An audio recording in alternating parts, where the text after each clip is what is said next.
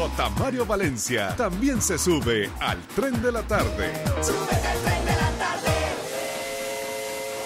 Estamos en el Centro Mundial de Comunicaciones en Río de Janeiro, desde donde sale la señal para todo el mundo de este Mundial de Fútbol. Lo que ustedes ven por televisión, los partidos, todos pasan por aquí. Y hay una persona que es una locura, va entrando y la gente se viene, la fotografía, en las calles, lo vimos ayer en Botafogo, la gente se va sobre él, quiere tomarse una fotografía y todos tienen una palabra bonita, se acuerdan de él y le dicen algo hermoso. Hoy es comentarista de RCN, es uno de los grandes en efecto. Está con nosotros don José Luis Chilaver. ¡Maestro! Muy buenas tardes, J. Mario. Es un placer estar contigo y con toda la gente ahí en Colombia. O sea, es un honor, un privilegio. Estamos aquí en la casa de, desde el centro de prensa esperando este mundial que llama la atención en el mundo. Yo voy a hacer la primera pregunta, pero claro que sí, que los compañeros tienen oportunidad de hacerle las eh, preguntas enseguida, con todo el corazón y con un gran cariño. Eh, José Luis, usted me dijo ayer algo que me dejó muy esperanzado. Colombia tiene toda la oportunidad, inclusive, de llevarse la copa. ¿Y por qué no? Todo empiezan de cero. También hay que analizar una cosa, viendo todos los programas de televisión que hay aquí en Brasil, parecía que este mundial es un trámite para Brasil. Ellos están diciendo, bueno, ¿quién será el rival en la final? Pero hay una frase muy vieja que dice que en el fútbol los pollos no hay que contarlo antes que nazcan. Hay que jugarlos y por ahí cuando uno más se confía, pues eh, te llevas un dolor de cabeza. La idea que tiene José Luis es que eh, todas las selecciones, en este caso son selecciones muy parejas, es decir, que no hay nadie descollante, por decirlo de alguna manera. Correcto, si uno analiza eh, la última final de, Sudáfrica 2010, del cual España y Holanda jugaron, se va a vivir otra vez el mismo partido, pero en Bahía. En Bahía creo que está haciendo hoy, creo que 40, 42 grados y España está entrenando en Curitiba con 20 grados. Los españoles cuando lleguen ahí en Bahía va a tener calor, humedad, todo eso. Hay que ver cómo lo dosifican, cómo va a ser el rendimiento de ellos. Hay varias cosas que puede afectar el rendimiento de los jugadores. Ahí está, don Nicolás Serna. Eh, José Luis, bienvenido a RCN al tren de la tarde. Quiero confesarle algo, uno de los días más tristes del fútbol en mi vida fue el 28 de junio del 98, cuando todos le hacíamos barra a Paraguay y estuvieron a cinco minutos de eliminar a Francia, que después fue campeón del mundo. Un gol de Leblanc ya en el descuento que se lo hizo a usted, pero ese equipo paraguayo es inolvidable para nosotros porque usted, de la mano suya, pasó un grupo dificilísimo con Nigeria, Bulgaria, España, estuvieron a punto de eliminar a Francia y usted siempre en toda su carrera acá lo respetábamos y lo admirábamos por su liderazgo. En estos mundiales, José Luis, en estas series cortas que no se pueden cometer errores, ¿cuáles son las características que tiene que tener un líder en la cancha? ¿Cuáles eran las que usted le transmitía a su equipo para llevarlo como lo llevó a ese gran mundial de Francia 98? Fundamentalmente hay que empezar a trabajar el partido cuatro o cinco días antes. Mirar cómo es el semblante de cada uno de los jugadores y la clave está el día cuando uno va a hacer el reconocimiento de campo. Cuando empieza a pasar por la sala de conferencia y le ves cómo se comportan, entonces uno ya viene el semblante por ahí pálido, el otro que va a menudo al toilet, el otro que se moja la cabeza permanentemente. Entonces están comiendo la ansiedad. Y lo que hay que hablar, acercarse, a, arroparlo, pasarle el brazo por atrás y decirle directamente que los partidos se juegan cuando empieza a rodar el balón, no se puede jugar antes. Entonces, psicológicamente si uno juega se desgasta. Entonces, esas cosas el líder lo tiene que saber y saberlo manejar. Y fundamentalmente yo tengo mucha confianza con relación a lo que es Colombia, que en el cual eh, reúne todas las condiciones eh, no es porque esté trabajando para RCN, sino que lo manifesté siempre. Colombia tiene un equipo muy equilibrado y que en el cual eh, fundamentalmente para mí va a ser el mejor portero del mundial, en este caso Spina, reúne todas las cualidades y enfrente tendrán colegas fantásticos como Buffon, como Casillas, como Neuer de Alemania, pero ¿qué ocurre? Tanto Casillas y Buffon ya tienen los méritos hechos, ya son veteranos.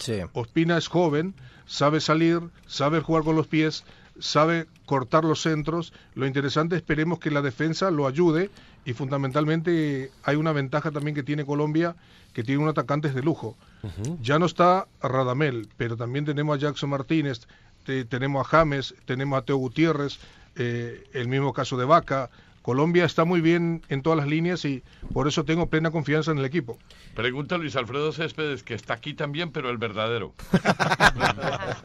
es que me vine de la cabina. Hola, José Luis. ¿Cómo estás? Igual. Eh, eh, eh, me vine de la cabina porque estoy asustado. ¿Qué pasó? Usted, usted, el que estoy oyendo hablar no es el que yo conocí, al que yo le comenté y le relaté infinidad de partidos. Ah, puede ser. Puede ser. Porque usted me está diciendo a mí que, que, que el fútbol es que cuando el partido empieza y que no sé qué. Usted nunca hizo eso, perdóneme, José Luis, usted los partidos los empezó a jugar un mes antes. Sí, pero claro, porque hay que tener en cuenta qué calidad de jugadores uno tiene. Entonces la responsabilidad lo tiraba todo hacia Yo no mí. sé si mis compañeros son capaces de decírselo o no, pero sí, a Valenciano. digo que, y se lo digo con todo el cariño, con el respeto y la admiración que le tengo pero usted ha sido uno de los jugadores más jodidos que ha tenido el fútbol mundial. Sí, claro. Y ese es de esos bandidos deliciosos que todos en los equipos queremos tener.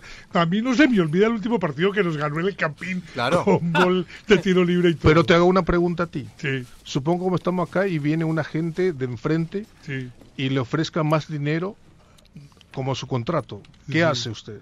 No, no, yo me quedo aquí, yo quiero mucha RCN. Por eso, por eso lo que te quiero decir, estamos jugando el partido, no hay que permitir que el rival meta la mano en el bolsillo para sacarnos nuestro dinero. Pero venga, eh, Chilaver, eh, hablemos muy en serio con respecto a esa característica suya. ¿Quién puede ser el jugador líder en Colombia que caliente un rival y que lo saque del partido como lo hizo usted tantas veces?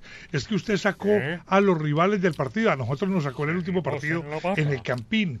En fin, yo me acuerdo del gol que nos hizo y tal. Libre. ¿Quién puede ser el jugador de nosotros, de esa selección nuestra, que tiene muy buenos jugadores, pero me parece que todos son muy, muy sanos? Bueno, yo no lo conozco mucho a profundidad, pero a mi forma de ver la manera desde afuera, eh, lo veo a Zúñiga, que es un hombre muy potable, que tiene liderazgo seguramente. También, obviamente, hay que tener en cuenta que los jugadores, la mayoría, todos están jugando en el extranjero.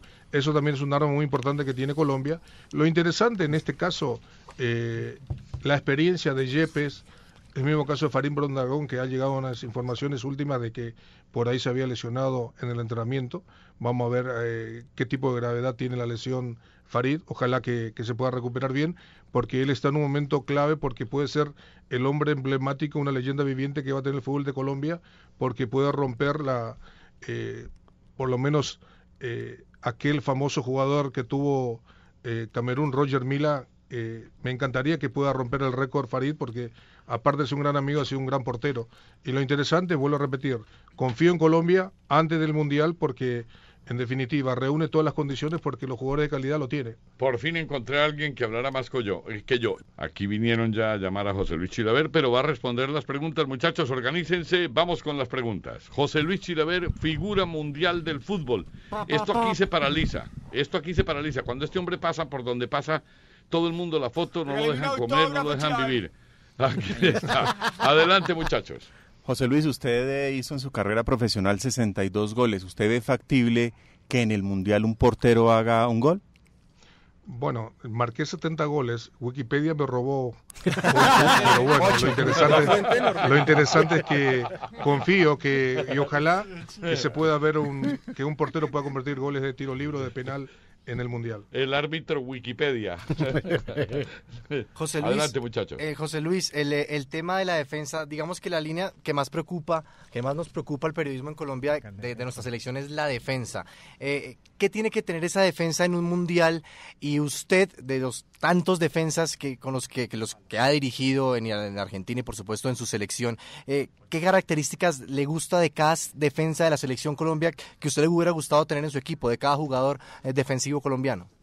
Bueno, me hubiera encantado que al lado de Yepes, por ejemplo, esté un, un jugador que sea agresivo, porque obviamente Yepes es un jugador veterano, pero cuando tiene que salir a presionar 10 metros para adelante, obviamente puede complicarse, por la edad no pasa en vano. Entonces es ideal que Peckerman ponga un hombre rápido al lado de él. Eh, por esas cosas de la vida, no sé por qué Perea quedó fuera, pero bueno, eh, tendrá sus razones el entrenador. José Luis, el tema de la charla técnica, sí, hay una charla oficial, la del técnico, muchachos vamos a jugar así, muchachos vamos a jugar así, pero usted, esa charla con los defensas de, hey, ve, apriétame a Raúl, ve, apriétame a este de Nigeria, ojo con este delantero de Brasil, ¿cómo era esa, su charla técnica con su defensa? Eso es fundamental, que Ospina debe juntarse con sus defensas y decirle, muchachos, de 20 o 25 metros, ningún jugador puede tener la oportunidad de patear de media distancia. Porque aparte de ser portero, hay que ser un mago hoy en la portería, porque el balón se va para un lado, para otro, se bambolea. Entonces, lo fundamental es que Colombia reúne jugadores con mucha capacidad y hay que ver dónde encaja Carbonero en el equipo de Peckerman, ¿no? Eh, siempre se dice que, por ejemplo, hay canciones que nunca pasan de moda, que en los Este 80 no pasan. No, la última, seis. la última. Ah, bueno. La- no, la última porque hay una gran admiración por José Luis. hay, hay- hay canciones, hay momentos que nunca pasan de moda. Usted no pasa de moda y seguramente si hoy estaría tapando sería el número uno. Eh, ¿Qué piensa de los arqueros hoy en día? ¿Qué, qué- qué le, qué le faltan, qué, le faltaría de Chilaver a los arqueros que hoy están en la élite? Por eso digo, yo soy, eh, digo, como un padrino de Ospina. Eh, No tengo duda que va a triunfar. Se lo dije a él, tuve esa hermosa oportunidad de verlo en el partido que ellos no jugaron contra Senegal en Sí. Buenos Aires.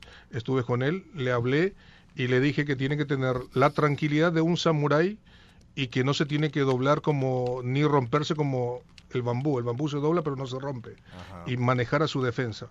Pero fundamentalmente es, ahí está la clave. Y Colombia, con los mediocampistas y atacantes que tiene, es un lujo. Bueno, muchachos, eh, José Luis Chilaver lo están llamando, Bravo, tiene maestro. aquí millones de compromisos. Ah, gracias, gracias Nicolás por dejar preguntar. Que vuelve en 15 minutos. y nuestro agradecimiento enorme para cinco. José Luis Chilaver, que se ha, ha querido acompañarnos. Lo escuchamos nos ha en dicho nuestra muy tele. gentilmente que sí.